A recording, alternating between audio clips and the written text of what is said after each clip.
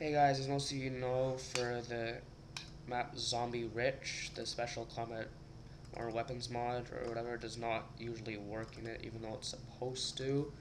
Um, but I'm going to show you how to fix that. I didn't even know how to do it myself at first. Some guy told me how to, so I can do it now.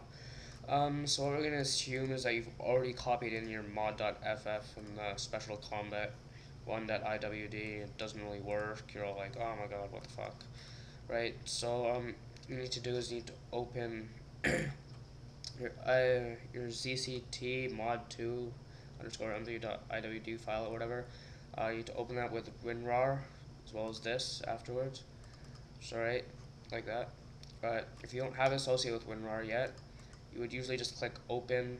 It'll ask you for the file type, but I'll show you because since it doesn't have it here, so you if it's not in the recommended programs or other programs thing, you're going to go to browse if you're on a 64-bit computer like me. If you're on 32-bit, uh, might be a bit different, I'm not sure.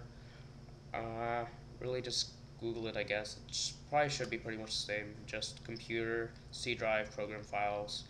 Uh, go to your WinRAR folder, click your winrar.exe, right? Should be in here now. Click OK um, open. WinRAR, you have all these files in here. And we why did I do that?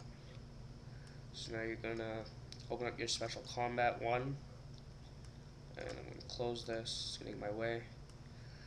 Okay so then as you see you're gonna need to copy two files over right? Your images okay you need to copy and this is from the special combat to the CCT folder not the other way around. Special combat into there so you're gonna drag and drop, copy paste, I don't care. Right, just drag and drop into there. Like that. If ever does it, it's gonna extract, do whatever, do thing. Right, you're gonna do add and replace file, just click OK.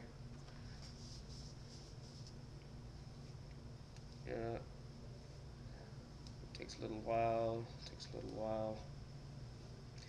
Uh, I'm not gonna bother showing you guys for the weapons, you know, you just do kind of the same thing as you did with the images, right? So, look, so now I've copied the images in, and then you just copy, drag and drop the weapons in, because I've already done this myself.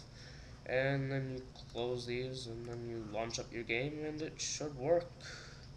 If you have any comments, any questions, it didn't work for you for some reason, uh, just put it in the comments, I'll try and help you, do whatever I need to I'll just try and show you again. Thanks very much.